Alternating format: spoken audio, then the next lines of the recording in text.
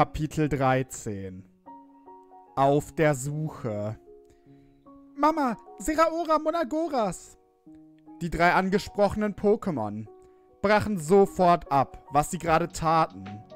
Ein Trainingskampf zwischen Monagoras und Epsilon. Als Aurora in die Ebene gestürmt kam, in welcher sie trainierten. Was gibt's? Wir trainieren gerade. Wenn es nicht so wichtig ist, will ich's gern warten lassen. Es ist aber wichtig. Dark hat eine Versammlung einberufen. Darkrai? Ist das nicht eigentlich Elementaras Job? Außerdem haben wir dafür Lautsprecher. Es sollen nur die Beteiligten erfahren, dass diese Versammlung überhaupt existiert. Und Darkrai organisiert sie, weil... Kommt einfach mit, ihr erfahrt es schon. Nicht gewillt zu widersprechen, folgte das Trio-Team Slashs nun der Kriegerin. Treffpunkt war ausnahmsweise dieses Mal offensichtlich nicht die Gemeinschaftsebene. Stattdessen quetschten sich alle Betroffenen in Elementaras Büro. Auch hier war der Gedanke scheinbar, dass die Existenz dieser Versammlung nicht nach außen hin preisgegeben werden sollte. Im Büro angekommen, war Kell bereits anwesend, zusammen mit der Gesamtheit Nordikas. Oder naja, fast die Gesamtheit Nordikas. Die Leiterin des Teams und der Liga fehlte jedoch. Endlich seid ihr da. Was braucht ihr so lange? Es ist eilig. Wir sind so schnell gekommen, wie es ging, Darkrai. Wir können auch erst auftauchen, sobald wir wissen, dass wir es sollen. Warum rufst du uns überhaupt und nicht Elementara? Sie ist verschwunden. Ich konnte sie schon den ganzen Tag nicht finden und auch sonst scheint niemand in der Liga sie gesehen zu haben. Deswegen gibt es auch überhaupt eine Versammlung. Wir müssen sie finden. Also, ich will dir ja nicht zu nahe treten oder so, aber... Elementar ist eine erwachsene Frau. Noch dazu eine, die immer viel um die Ohren hat. Sie wird sich zurückgezogen haben, um etwas auszuspannen. Wenn sie morgen noch nicht zurück wäre, würde ich deine Sorgen verstehen, aber so... Du kennst Elementara kaum. Anders als ich. Einerseits ist sie nicht das Pokémon, das sich einfach mal so einen Tag frei nimmt. Aber vor allem ist sie kein Pokémon, das wortlos verschwindet. Nicht einmal ein Zettel hat sie hinterlassen, der besagt, dass sie weggehen würde. Ich spüre es genau. Hier ist etwas faul. Nein, mehr als nur das. Wir müssen sie suchen, Epsilon. Wir müssen. Also, naja, wenn du meinst, verweigere ich keine Hilfe. Aber ich bin nicht verantwortlich, wenn sie angepisst ist, weil du so eine Aktion hier startest. Wenn wir sie wirklich wohlbehalten finden, dann nehme ich das gerne auf mich. Also, sind alle Anwesenden dabei. Die Stimmen halten durcheinander. Worte waren nicht verständlich. Aber dass niemand ging reichte als Antwort. Alles klar. Also, Planung. Florian Kanimania bleibt im Turm. Sucht, ob sie vielleicht doch irgendwo hier ist. Und falls nicht, wartet, falls sie wiederkehrt. Aurora Kell, kümmert ihr euch um die Stadt. Durchsucht Kiratown und fragt nach Spuren. Latias Latios. Ihr kümmert euch um Crowning, dort könnte sie auch sein. Falls nicht, übernehmt ihr noch den südwestlichen Abschnitt im Umkreis. Seraora Monagoras. Ihr übernehmt die Region südöstlich, bis inklusive den nächsten Dörfern. Epsilon. Du bleibst übrig. Du begleitest mich. Wir kümmern uns um den Norden, spezifisch Wald und Strand. Gibt es Einspruch oder können wir abreisen? Einspruch folgte nicht. Nur Zweiergruppen, die sich langsam aufmachten, bis nur noch Darkrai verblieb. Und natürlich Epsilon, die ihn begleiten sollte. Also gut, dann gehen wir auch. Zuerst Richtung Polarsee. Ich würde sagen, wir teilen uns am Wald auf. Du nimmst den westlichen Waldweg, ich den östlichen. Wenn sich die Wege am See treffen, treffen wir uns auch und gehen nach Norden an die Küste. Es sei denn natürlich, wir werden vorher fündig. Wenn du damit Probleme hast, kannst du sie gerne für dich behalten. Keine Sorge. Aus dem Fakt, dass ich die Aktion für grundlegend sinnlos halte, habe ich keine Einwände. Hierüber hatte Dakra nichts zu sagen. Zumindest nichts, was er nicht besser für sich behalten sollte. Stattdessen machte sich das Duo also als letztes auch auf. Bei Einbruch der Nacht würden sich alle Pokémon erneut treffen, um so ihre Funde mitzuteilen. Insofern es diese gab. Epsilon war beinahe unsicher, ob sie überhaupt auf diese hoffen sollte. Einfach da es Darkrai stressen würde, wenn sie, wenn sie nichts finden würden und er ihr schon zu oft dumm gekommen war, als dass sie ihm das nicht gönnen würde. Allerdings würde er dann auch aufhören, auf so eine Suche zu bestehen. Und am Ende würde er ohne Fund sonst noch einen zweiten Tag der Suche ausrichten. Und das konnte ihr Plan nicht gebrauchen, denn es wäre Zeitverschwendung. Nun, die Reise des Duos endete jedoch schon bald nämlich auf dem Hauptplatz Kira Towns. Denn ab hier sollte es nicht als Duo weitergehen. Aurora und Kel warteten bereits. Was steht ihr hier so tatenlos rum, ihr zwei? Los, ihr habt einen Job. Unser Job ist schon erfüllt, Darkrai. Einer der Ladeninhaber hat Elementara letzte Nacht gesehen.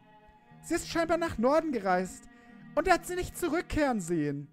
Wir haben gewartet, weil ihr ja nach Norden wolltet. Es ist sinnvoller, wenn wir euch da begleiten, denke ich, im Wissen, dass wir dort am ehesten fündig werden. Ihr habt eine Spur und sie führt zum Wald. Worauf warten wir dann? Los, kommt mit, Polanavatra. Wir planen um Epsilon. Beziehungsweise tun wir nicht.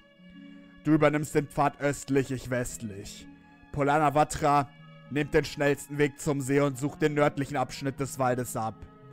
Wenn ihr fertig seid, geht ihr an die Küste und wartet dort. Ab dort suchen wir gemeinsam. Alles klar. Wenn jemand fündig wird, wie verständigen wir uns denn dann? Rufen. Und wenn es keiner hört, warten. Eilig haben wir es hoffentlich nicht, wenn wir sie gefunden haben. Nun, mit neuem Plan und sicherem Ziel, machten sich die vier Pokémon auf zum Wald. Durch die Worte Auroras wirkte es nun deutlich wahrscheinlicher, hier fündig zu werden. Doch gleichzeitig war es nicht sicher. Elementara könnte weit gewandert sein. Weit an der Küste entlang bis in den fernen Osten. Nur stellte sich eine große Frage. Warum sollte sie das? Aber warum sollte sie allgemein auch ohne Spuren verschwinden, ne? Epsilon lief ihren Pfad ruhig ab. Sie achtete nicht wirklich auf ihre Umgebung. Verpassen könnte sie Elementara ohnehin schlecht. Stattdessen hatte sie einen Moment des ruhigen Waldspaziergangs, um ihre Gedanken streifen zu lassen. Ihr Plan auf dem Vulkan war bereits in Fahrt gekommen. Nun standen weitere Schritte an. Vielleicht die riskantesten. Wenn sie jetzt einen falschen Schritt tat, könnte sie Kell dann je wieder auf ihre Seite ziehen. Aber gleichzeitig musste sie Misstrauen kreieren, damit der Plotkaiser ihr trauen könnte. Warum musste es nur so schwer sein, auf zwei Seiten gleichzeitig zu stehen? Plotkaiser und Polana Vatra. Polana Vatra und Plotkaiser. Könnten Aurora und Kell sich nicht auch einfach dem Kaiser anschließen? Polars Ruf folgen? Epsilon hätte dann einen deutlich leichteren Job. Aber gleichzeitig... Irgendwo fehlte doch auch der Spaß am Abenteuer, wenn es zu einfach war.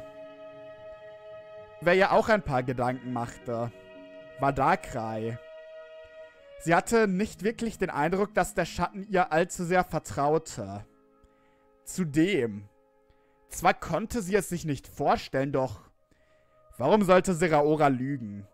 Er behauptete felsenfest, dass Dakra in dieser Welt so etwas wie ein übermächtiger Krieger wäre.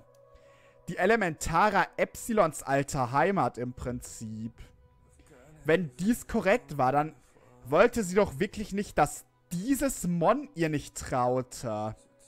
Sie brauchte ihn zwar nicht zwingend, anders als Kell, dessen Feindschaft endlosen Tod bedeuten könnte. Aber hilfreich wäre es trotzdem, mit ihm im Guten zu stehen.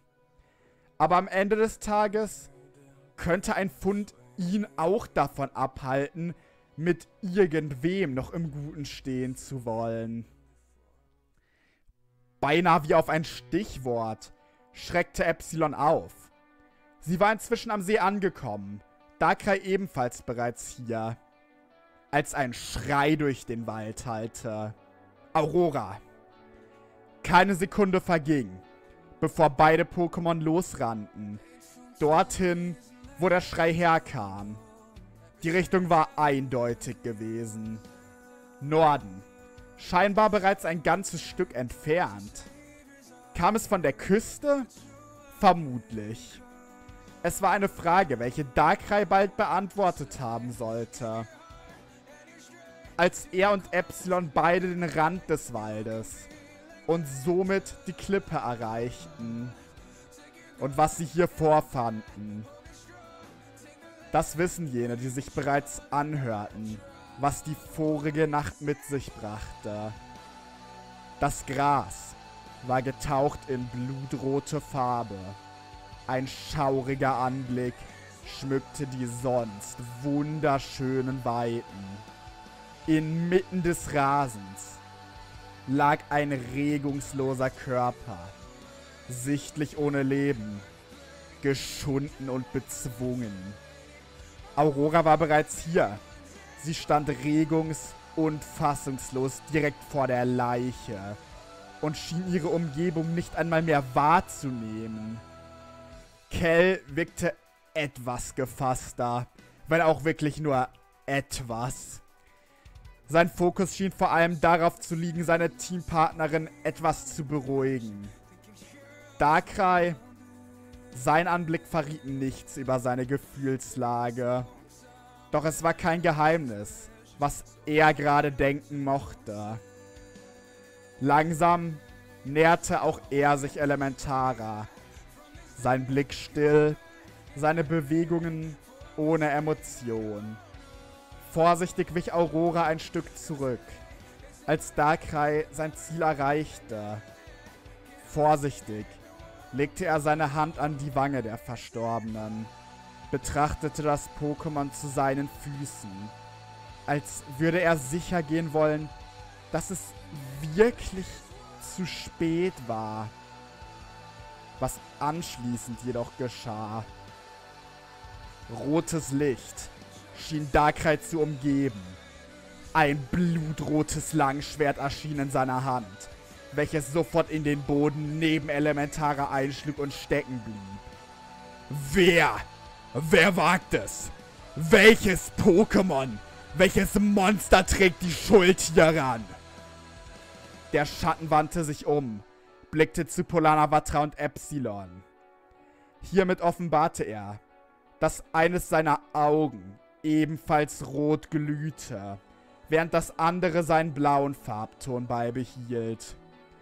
Ich wusste es. Ich hätte es wissen müssen. Etwas war faul. Ich hatte es gespürt. Der letzte Abend, die letzte Nacht. Ich hatte es gespürt, gesehen. Der blutrote Mond, die Wellen des Blutmeeres vor meinen Augen. Die Fehler, welche diese Welt durchtränken würden. Aber ich habe zu wenig gesehen, zu wenig gehandelt. Wer auch immer verantwortlich ist, welches Pokémon hier hinter steckt. Wir, wir werden es finden. Und es wird bezahlen.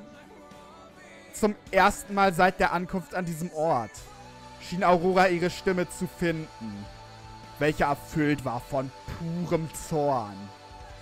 Was genau hier geschehen war, war ein Geheimnis. Doch sie alle waren fest entschlossen, es zu lüften. Geht, Aurora. Cal Epsilon. Kehrt zurück zur Liga. Wartet, bis die anderen alle da sind. Wir haben viel zu bereden und ich weiß nicht, wann ich zurück sein werde. Zuerst muss ich sicher gehen, dass Elementara eine Ruhestätte findet, welche ihr würdig ist.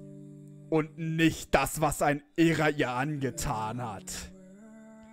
Aurora schien nicht einverstanden.